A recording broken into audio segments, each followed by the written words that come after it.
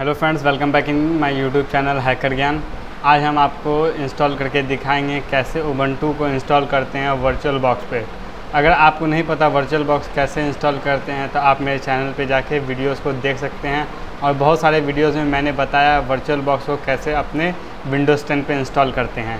तो इसके लिए सबसे पहले हमको जाना होगा न्यू पे। यहाँ पर आप देख सकते हैं, ये न्यू का ऑप्शन है। इस पर आपको सिंपली क्लिक कर देना है। और क्लिक करने के बाद आपको यहाँ पे डालना है नाम। कौन सा आप इंस्टॉल कर रहे हैं लिनक्स का? तो मैं लिनक्स का 64 बिट का करूँगा तो अब यहाँ पे डाल देता हूँ उबंटू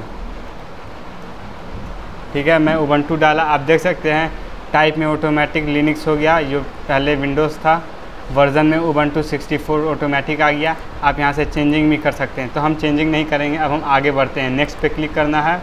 रैम का साइज़ बोल रहा है एक जीबी तो एक जीबी काफ़ी होता है वैसे, लेकिन हम कुछ इसको बढ़ा देंगे, क्योंकि मेरे सिस्टम में रैम बहुत ज़्यादा है। बाय डिफ़ॉल्ट हर चीज़ को रहने देना है। Create virtual hard disk by default ही रहेगा। बस आपको क्रिएट पे क्लिक करना है। V D I virtual box disk image ये भी बाय डिफ़ॉल्ट जैसे वैसे रहना है।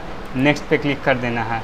ये कह रहा है डायनेमिक एलोकेट मतलब कि जो फ़िज़िकल हार्ड डिस्क होगा या फिर डायनेमिक तो उसका जो साइज़ क्या होगा? तो मैं करूँगा डायनेमिक अगर मेरा सिस्टम अगर दो जी ले रहा तो हार्ड डिस्क का साइज़ दो जी रहेगा। अगर दस जी ले रहा तो हार्ड डिस्क का साइज़ दस जी होगा। ऐसा नहीं है कि दस जी ये स्टोरेज को फिक्स कर लेगा अपने अंडर में। तो इससे थोड़ा बेनिफिट होता है, इसीलिए डायनेमिक एलोकेट पे रहने देना है बाय डिफ़ॉल्ट और नेक्स्ट कर देना है। अब यहाँ पे हार्ड डिस्क का साइज़ दस जी काफ़ी है। क्रिएट पे क्लिक करना। अब आप देख सकते हैं यहाँ पे ये क्रिएट हो गया है। ठीक है? तो अब क्रिएट जो हो गया है तो आपको यहाँ पे कुछ सेटिंग्स करना होगा। तो सेटिंग्स करने के लिए आप यहाँ पे सिंपली राइट क्लिक भी कर सकते हैं और आपको एक ऑप्शन यहाँ पे भी सेटिंग्स का मिलता है। तो यहाँ पे आप सेटिंग्स पे जाके क्लिक कर देंगे। क्लिक करते के साथ आप देख सकते हैं, ये बेसिक जो भी था पहले से सेट किया हुआ था, आपको यहाँ पे कुछ नहीं करना है। यहाँ पे आपको एडवांस का एक ऑप्शन मिल रहा है। एडवांस पे क्लिक कर देना है। एडवांस पे क्लिक कीजिएगा, ये दो ऑप्शन आपको डिजेबल्ड है। तो इसको आपको इनेबल कर देना है।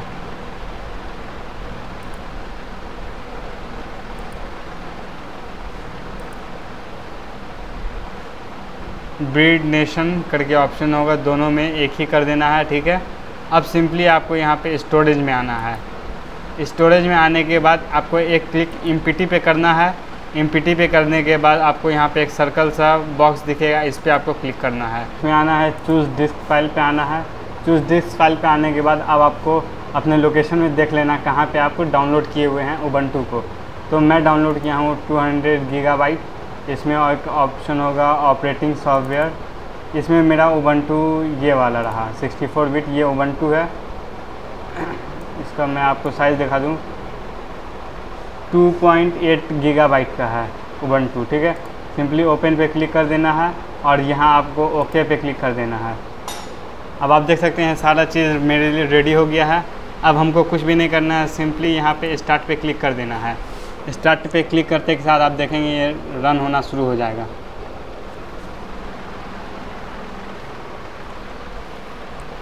मेरा सिस्टम थोड़ा स्लो इसलिए चल रहा है क्योंकि मैं इसमें अभी स्क्रीन रिकॉर्डर ऑन किया हूँ, इसी वजह से सिस्टम थोड़ा स्लो है।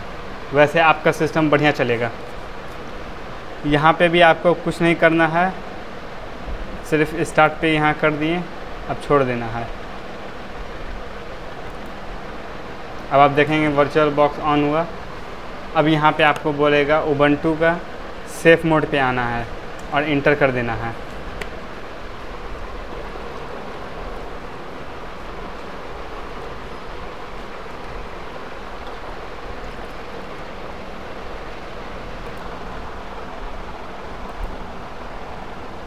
पीछे से वर्चुअल बॉक्स को आप हटा भी सकते हैं, उसका कोई ज़रूरत नहीं है। अगर ये आपका उबंटू रनिंग स्टार्ट हो गया है तो उससे बेसिकली आपका रैम कुछ फ्री हो जाता है।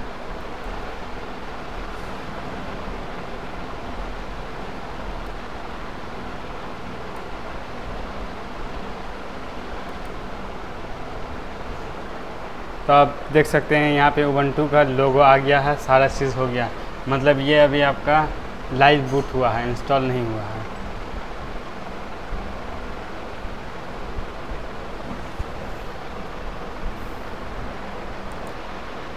तो फ्रेंड्स, आप देख सकते हैं, ये ऑप्शन आ गया है उबंटू इंस्टॉल करने का। तो इसमें आपको तीन ऑप्शन मिल रहा है। एक आपको लैंग्वेज का ऑप्शन मिल रहा है, एक मिल रहा है आपको ट्राई उबंटू का और दूसरा ऑप्शन मिल रहा है इंस्टॉल उबंटू का।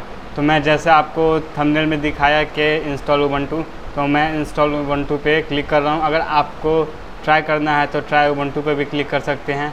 और उससे पहले आपको अगर लैंग्वेज चेंज करना है तो लैंग्वेज भी चेंज कर सकते हैं। तो बाय डिफ़ॉल्ट इंग्लिश है, अब मैं इंस्टॉल उबंटू पे क्लिक कर देता हूँ।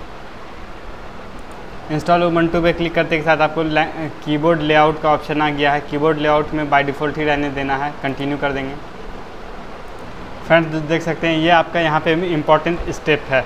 तो इसमें आपको टोटल चार ऑप्शन दिखेगा। अगर आपका इंटरनेट से अगर जुड़ा रहेगा तो। अभी मेरे को तीन ऑप्शन दिख रहा है। सबसे पहला ऑप्शन है नॉर्मल इंस्टॉलेशन सेकंड ऑप्शन है मिनिमल इंस्टॉलेशन मिनिमल में आपका जो होता है, सबसे कम बेसिक चीज़ आता है। और एक होता है इंस्टॉल थर्ड पार्टी सॉफ्टवेयर जो आपके सपोर्ट के लिए होता है। तो मैं आपको डेमो के लिए कर रहा हूँ, इसीलिए मैं मिनिमल इंस्टॉलेशन पे जा रहा हूँ। ज़्यादा का डिफरेंस किसी में नहीं है, सारा स्टेप सेम होगा। चलिए हम कंटिन्यू करते हैं। फ्रेंड्स आप देख सकते हैं नेक्स्ट स्टेप में है इंस्टॉलेशन टाइप का।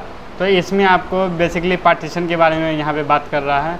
तो यहाँ पे एक ऑप्शन होता है समथिंग एल्स ठीक है? लास्ट ऑप्शन और पहला ऑप्शन होता है erase disk and install Ubuntu अगर आप वर्चुअल बॉक्स में इंस्टॉल कर रहे हैं जैसा मैं आपको शुरू से बताया तो आपको फ़र्स्ट में ही रहने देना है बाय डिफ़ॉल्ट अगर आप डायरेक्ट इंस्टॉल कर रहे हैं डिस्क में वर्चुअल बॉक्स का यूज़ नहीं कर रहे तब आपको सेकंड में आके पार्टीशन करना है। तो मैं यहीं पे डायरेक्ट जो बाय डिफ़ॉल्ट है इंस्टॉल नाउ पे क्लिक कर देता हूँ। इरेज डिस्क इससे आपको कोई दिक, दिक्कत नहीं होगा। जो डिस्क हमने दस जी का बनाया था वर्चुअल उसमें ही इंस्टॉल होगा। तो अब आप देख सकते हैं ऑप्शन ये कंफर्मेशन कर रहा है हमसे तो कंटिन्यू पे क्लिक कर देना है। अब देखिए, आपसे ये पूछेगा आपका लोकेशन तो सिंपली हम इंडिया कोलकाता कर दिए। बस आपको क्लिक कर देना है, इस पर हो जाएगा। आपको इसमें अपना नाम डालना है।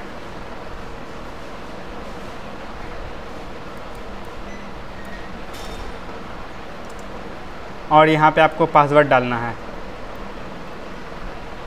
इसमें भी आपको पासवर्ड सेम डालना है। और यहाँ पे आप लॉगिन ऑटोमेटिक भी कर सकते हैं। मैं भी लॉगिन ऑटोमेटिक कर देता हूँ। इसमें पासवर्ड भूलने का चांस कम होता है। कंटिन्यू पे क्लिक कर देना है। आप देख सकते हैं इंस्टॉलेशन का प्रोसेस स्टार्ट हो गया है। मैं वीडियो को थोड़ा स्किप कर रहा हूँ। फ्रेंड्स तो मैक्सिमम इसका प्रोसेस हो गया है। अब कॉन्फ़िगरिंग हो रहा है हार्डवेयर तो अब ज़्यादा टाइम नहीं लेगा।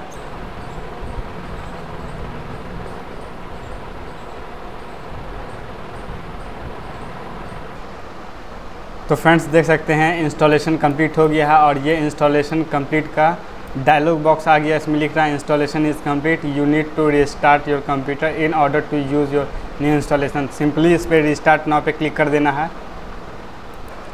और देख सकते हैं सिस्टम रिस्टार्ट हो रहा है। वन टू रिस्टार्ट हो रहा है। ये आपको लिखेगा please remove the installation media then press enter तो आपको सिंपली बस इंटर कर देना है, ये स्टार्ट हो जाएगा। उबंटू का लोगो आ गया है। अब बूट हो। रहा है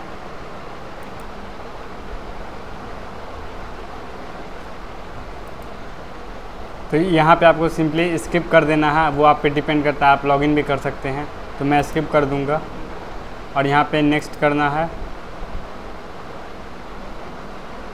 मेरा सिस्टम थोड़ा स्लो इसलिए चल रहा है क्योंकि मैं अभी रिकॉर्डिंग ऑन किया हूँ। स्क्रीन रिकॉर्डर जो काफ़ी ज़्यादा रैम यूज़ करता है।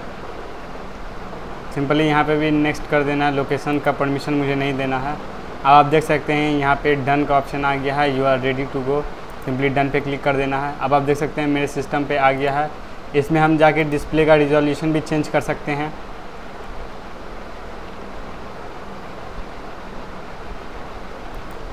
रिजोल्यूशन को चेंज करने के लिए यहाँ पे सिंपली हम कर देते हैं आपको। हम्म, हाँ। ये थोड़ा कुछ बेहतर है। Keep change